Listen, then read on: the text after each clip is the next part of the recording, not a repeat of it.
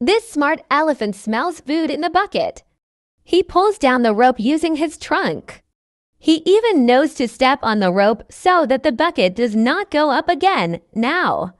He enjoys sweet carrot. Yummy. Yummy, yummy, yummy, yummy.